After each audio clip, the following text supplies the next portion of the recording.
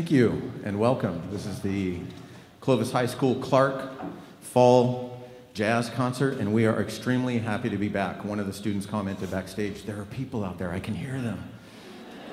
And so I had to warn them, they might clap for you, so don't be startled. We're going to start off, this is the Clark Jazz Band, and we're going to start off with a tune. It's just entitled uh, B Flat Blues, and it's a shuffle. This is uh, from uh, Jamey Aebersold album, and I just took the melody that he put to the backing track and I arranged it for um, the jazz band, and we're going to have some solos. So I can remember spending countless hours practicing to the B flat blues shuffle, and it's a real joy for me to be able to hear them uh, starting off their soloing journey. And so we're going to hear from four soloists, starting with Ashlyn Blackburn on alto saxophone, then Ellie Tui, I hope I said that right, uh, on trumpet, Alexander Minton on tenor saxophone, and finish it up with Jonathan Herrera on trombone. This is a B flat blues shuffle.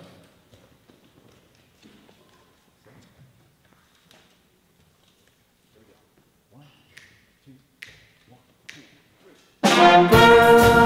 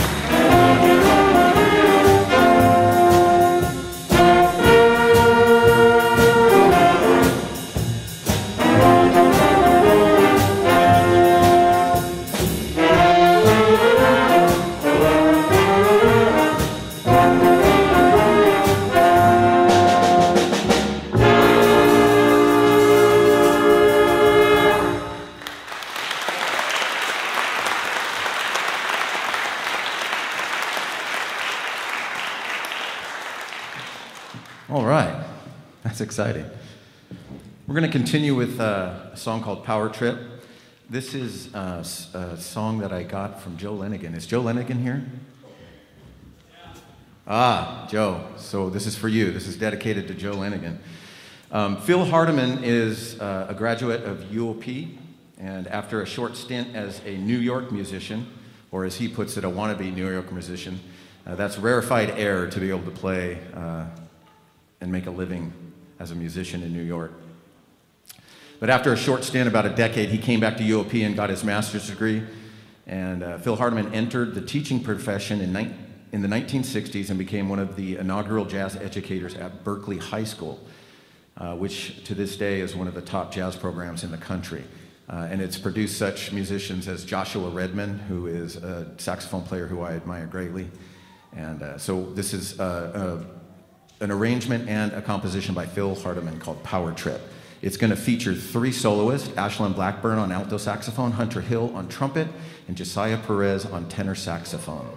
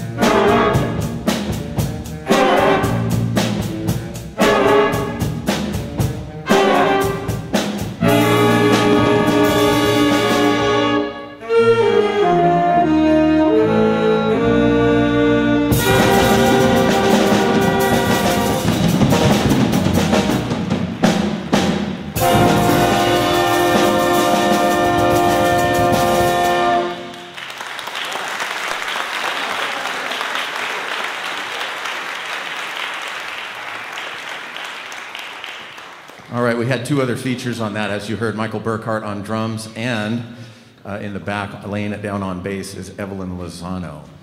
So we're going to give the B band a chance to slink out, sneak out, and while they do that, I'm going to announce the next song. This is uh, a swing chart called Swing Thing, and it's arranged by, uh, written and arranged by Mike Story. And Mike Story is currently a full-time writer with Alfred Music.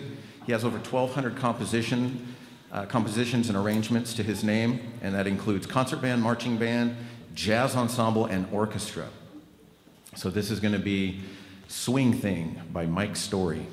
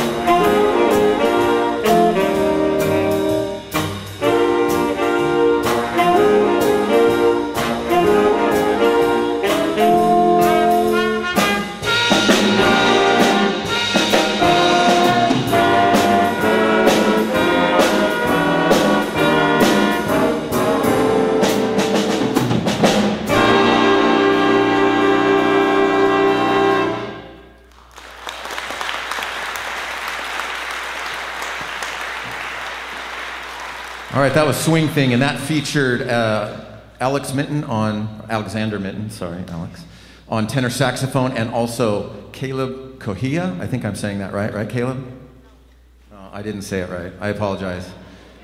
Um, but let's give some recognition to the soloists, Alex and Caleb.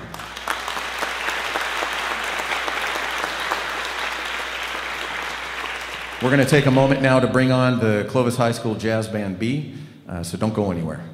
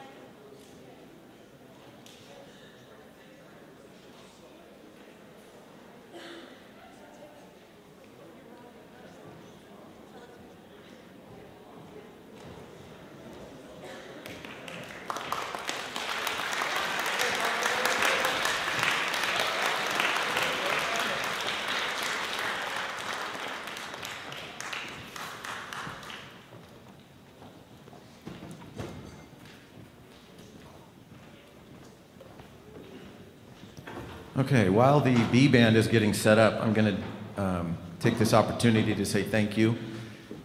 It's really hard to talk in this mask because it fogs up my glasses.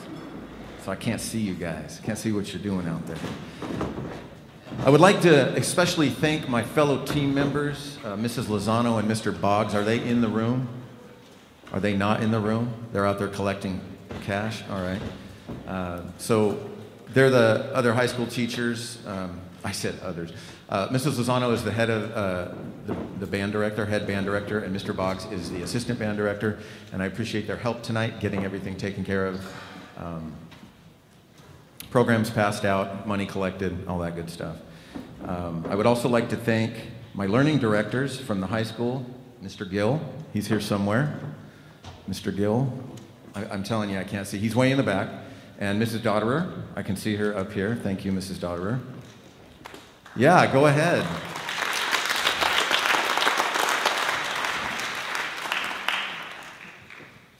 Couldn't be done without them. Um, I would also like to thank the principals from Clovis High, Stephanie Hanks, and Clark, Teresa Barber, and the area superintendent, Dr. Scott Dilly. And also, yes, thank you. Is he here? Is Mr. Dilly here? Dr. Dilly, are you here? I would make him stand up. Okay, and then our superintendent, Dr. Eimear O'Farrell. And I also want to give a special thanks. I know Mr. Gandulia is out there. I can finally pronounce his name, his last name correctly. Jim Gandulia, are you out there?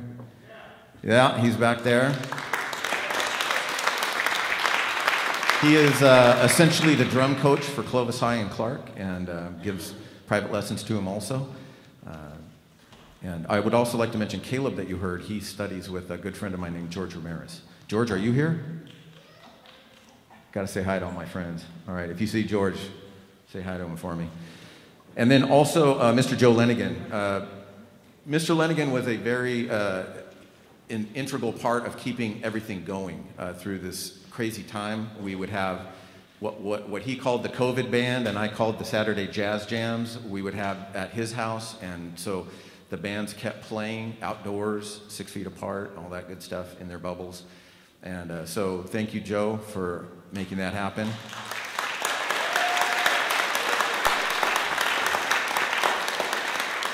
Joe is a longtime Clovis Unified music teacher, and I'm not allowed to say how many years he's been teaching in Clovis Unified, but it's a, it's a few. It's a few years. All right, is the B band ready?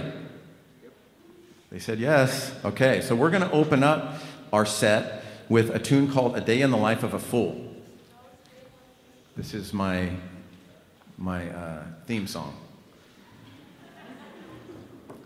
This song uh, was written by uh, Luiz Bonfá. Luiz Bonfá. He was a Brazilian guitarist and composer who was one of the uh, influential forces behind the bossa nova explosion of the 1950s to the 1970s.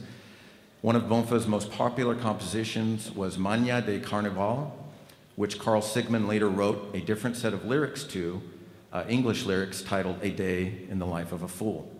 This is Terry White's arrangement of A Day in the Life of a Fool my theme song.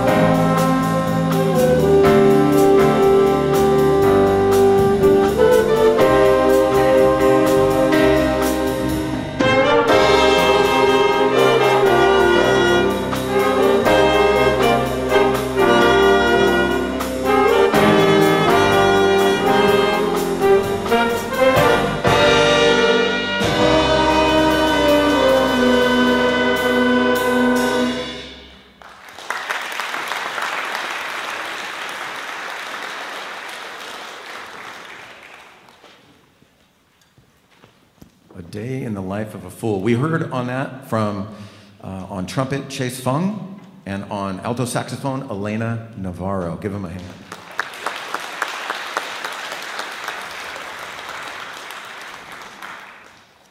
All right. This is a really fun, uh, the next chart is a really fun swing, swing tune, and it was written and arranged by Sammy Nestico. Sammy Nestico was a trombonist, composer, and arranger who became one of the key figures in the development of jazz education. He died this year uh, on January 17th in his home in Carlsbad, California. He was three weeks shy of his 97th birthday. Nestico was a true giant in the world of music and a jazz, and in jazz particular, a veteran of the Charlie Barnet, Tommy Dorsey, Woody Herman, and Gene Krupa orchestras as a trombonist he made his most enduring contribution to big band jazz during his 17 years as an arrangement for the Count Basie Orchestra. Nestico was also a first call arranger for vocalists, working uh, extensively with the likes of Sarah Vaughan, Frank Sinatra, Barbra Streisand, and Toni Tennille. And this is his uh, composition in, entitled Tater Patch. Just a little side note if you've ever seen the movie Napoleon Dynamite, every time I see the word tater, I think of tater tots. And so I would always announce what we're going to do in this song uh, in a, la uh, Napoleon Dynamite. So it was funny to them. This is Tater Pat.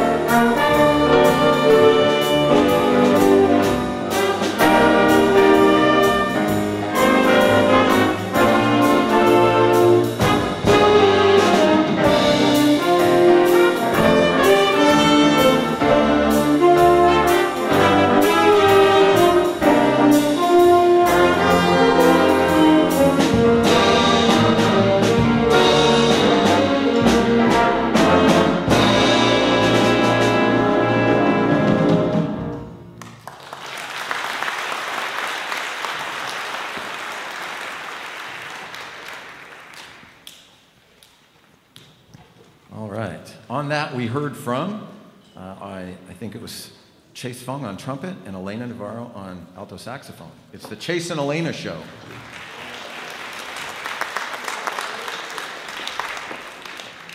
This next song is an arrangement of a tune called Candyman. If you've ever seen Willy Wonka and the Chocolate Factory, it comes from uh, that movie, or it was used in that movie. And this is an arrangement by Sammy Nestico, once again. And a little bit more about Sammy Nestico. He once explained the secret of success, his success in a 2012 interview with Jazz Times. And I quote The target players are not professionals, but just because you're not writing something fairly simple doesn't mean it has to be bland. You want to make it as musical as possible and make it so that the students say, Boy, I like playing this.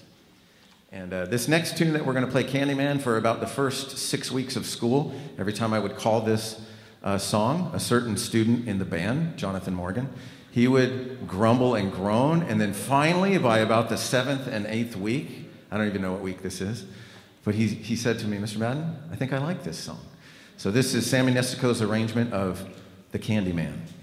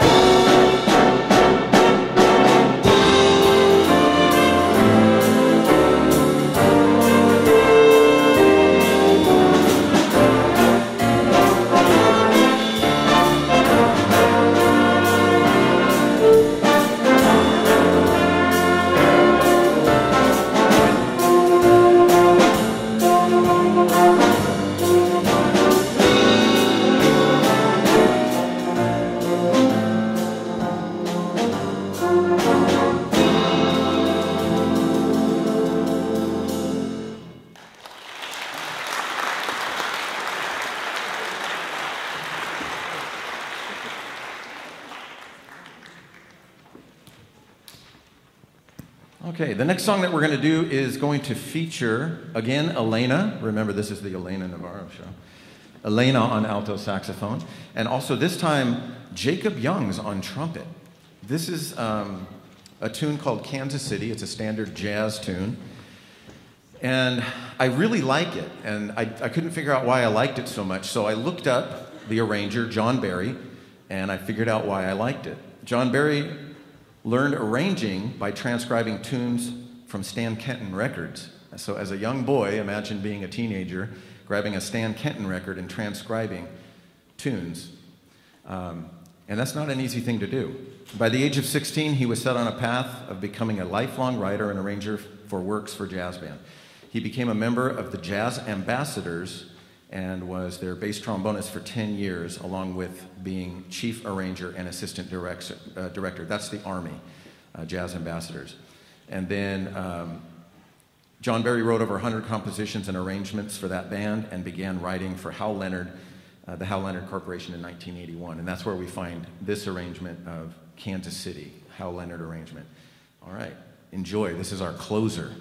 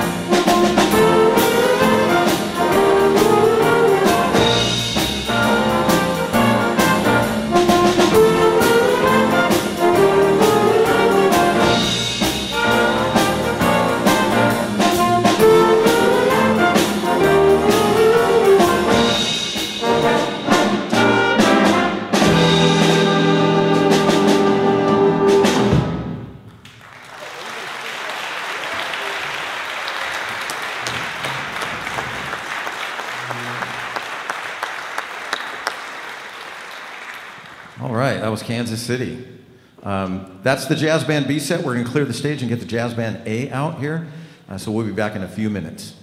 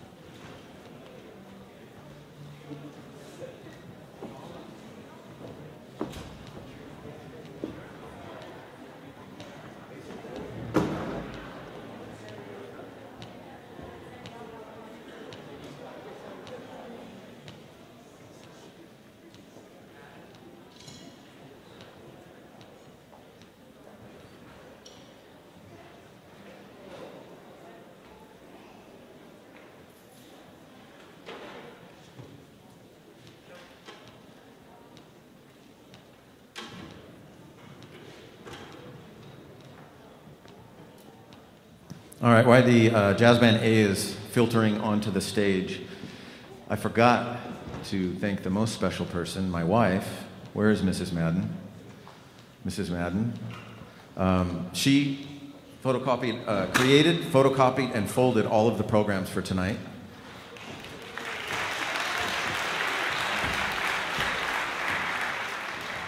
And, and she puts a, her, her main job is to put up with me, which is a, quite the task.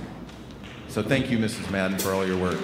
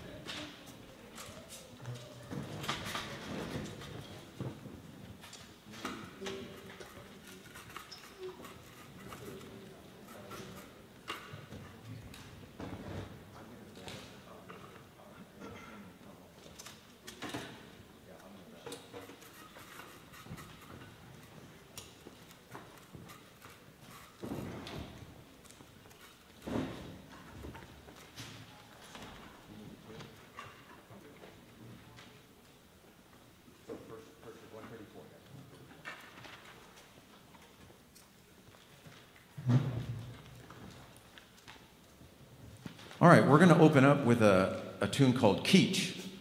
We played this one uh, Saturday at the Jazz Jam, and I kind of fell in love with it, and I asked Mr. Lenigan to send it to me because I was like, Keach, what is a Keach?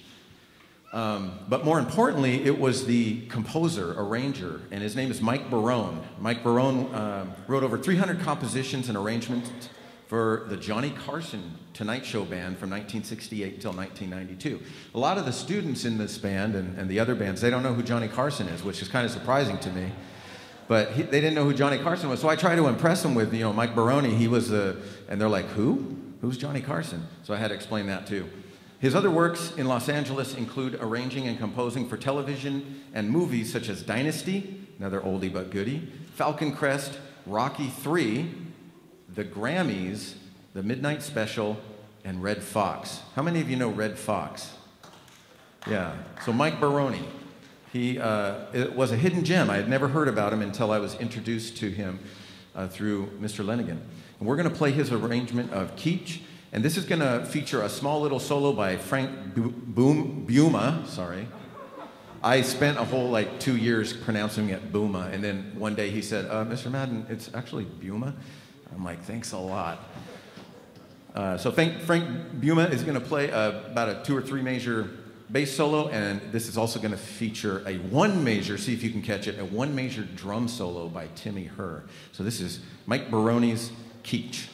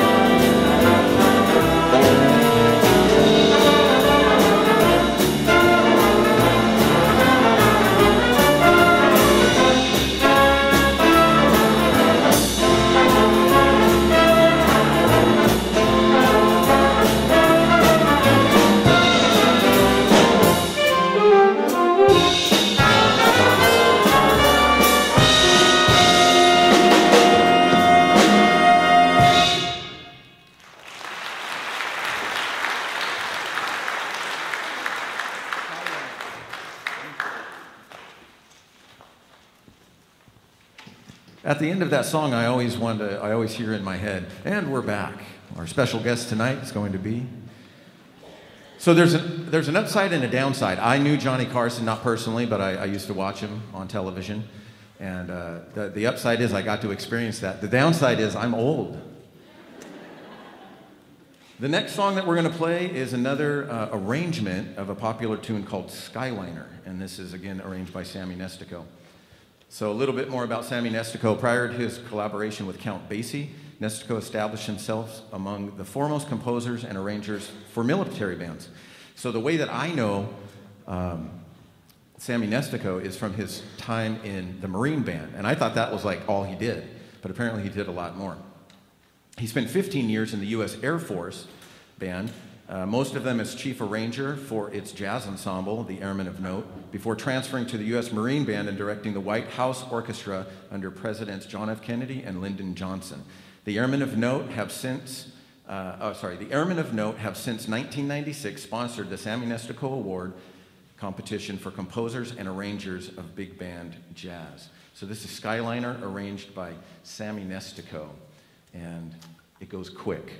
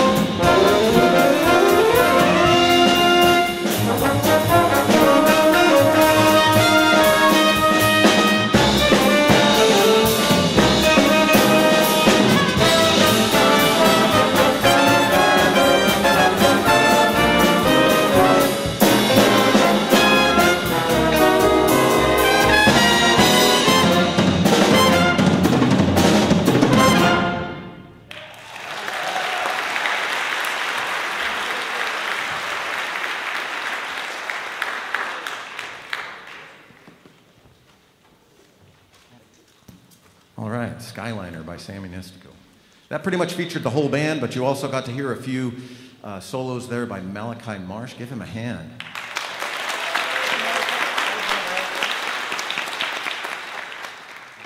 I can't even count that fast, let alone play that fast. Okay, the next song that we're going to uh, play is entitled One Note Samba, and this is, an, uh, this is a composition by Antonio Carlos Jobim, and it's arranged by Paul Murtha. So, a little bit about um, Jobim. He was one of the leading songwriters behind the worldwide explosion of bossa nova in the late 1950s, which ended up reaching a fever pitch in the US during the 1970s. This next tune is one of the more popular tunes, uh, one of his more popular tunes titled One Note Samba. And before I can tell you where the title comes from, I need to confuse you just a little bit. One Note Samba is classified as a sambinha, I don't know if I'm saying that right, or little samba, and is actually a bossa nova and not a samba. Process that. Also, as you will hear, the song has more than one note. So, why is it called One Note Samba? The song derives its name from the first several measures of the song, which consists of a single note being played over the backdrop of a descending chord progression.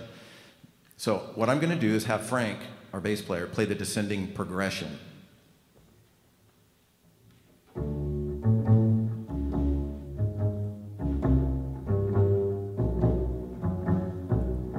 So that progression is then repeated, and you have the trombones. He gives the one note of the samba to the trombones, and um, it's not a single note, but each of them play the same note. Um, yeah, so th- what is the difference then between a samba and a bossa nova? And I've been told by uh, several very good drummers that it just has to do with how fast you play it. So if you listen for the, um, the heartbeat of the bossa nova, if you could play that for us, Malachi, on the drum, or the bass drum.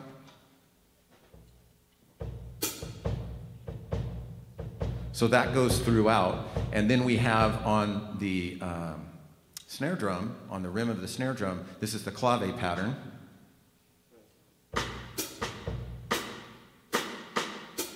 So the clave pattern is played throughout.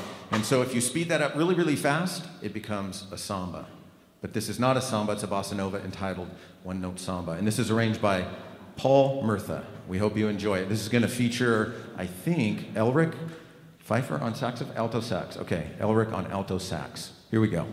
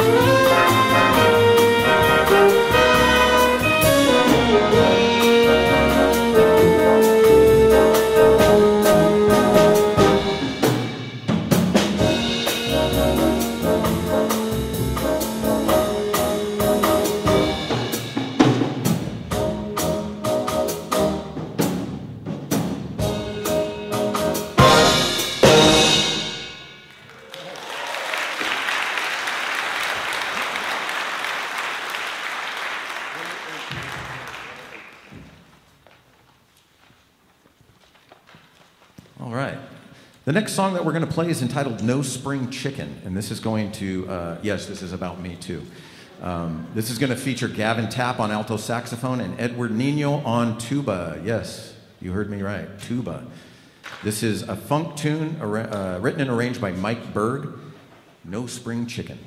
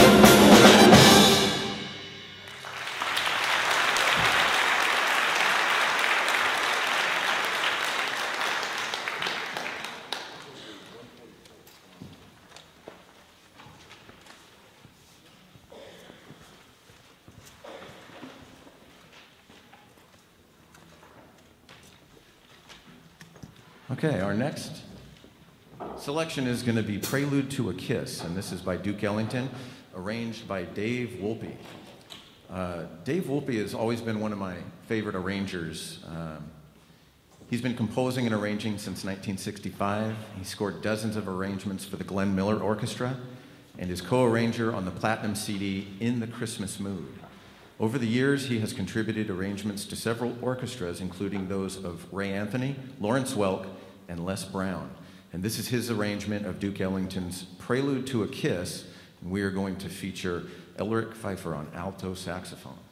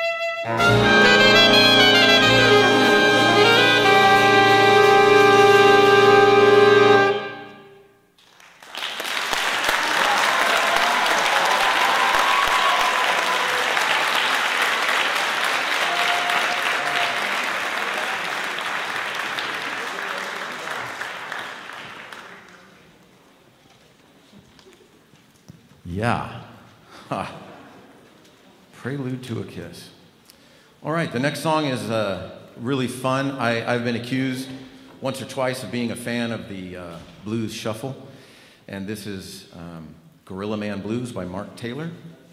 And it's a Basie style shuffle. This is going to feature several uh, on piano at the very top, just as Count Basie would. It's going to feature Ellie Human on piano. Then we're going to hear from Gavin Tapp on alto sax, Maya Flatray on guitar. Then we're going to hear from Brandon Bliatu on trombone. And yes, it took me a long time to learn to say Bliatu. You should see how it's spelled. And then Sidney Leap on trumpet. This is Gorilla Man Blues.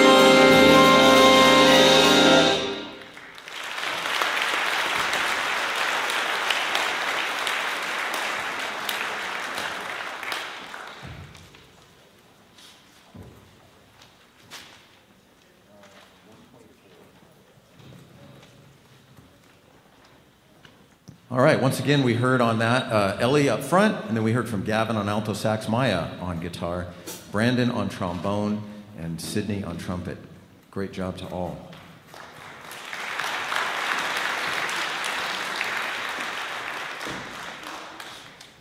If you're wondering what the exodus to the back is every so often, um, there are buckets back there, and we are catching from our water keys the water. So that's what's happening. Um, the closer for this set is going to be my favorite, and this is entitled Higher Ground. Higher Ground is a funk song uh, written by Stevie Wonder, which first appeared on his 1973 album uh, Innervisions. Stevie Wonder played all of the instruments on the track, including drums and percussion. So that's quite amazing if you listen to it. He's, it's all Stevie Wonder. This arrangement is by Mark Mike Tomaro, who is a saxophonist, composer, arranger, and educator based out of the Philadelphia, Pennsylvania area.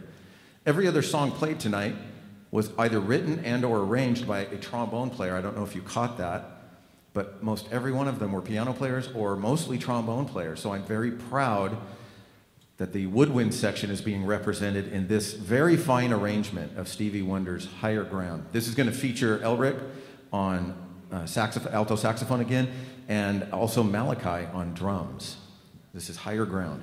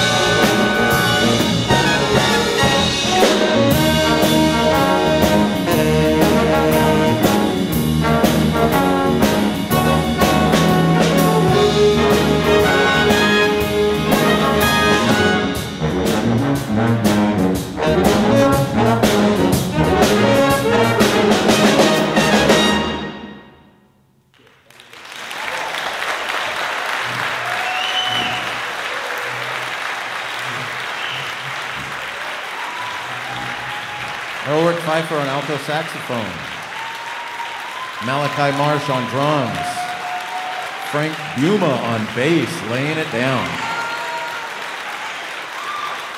Ellie on piano. Another big round of applause for the entire Jazz Band A.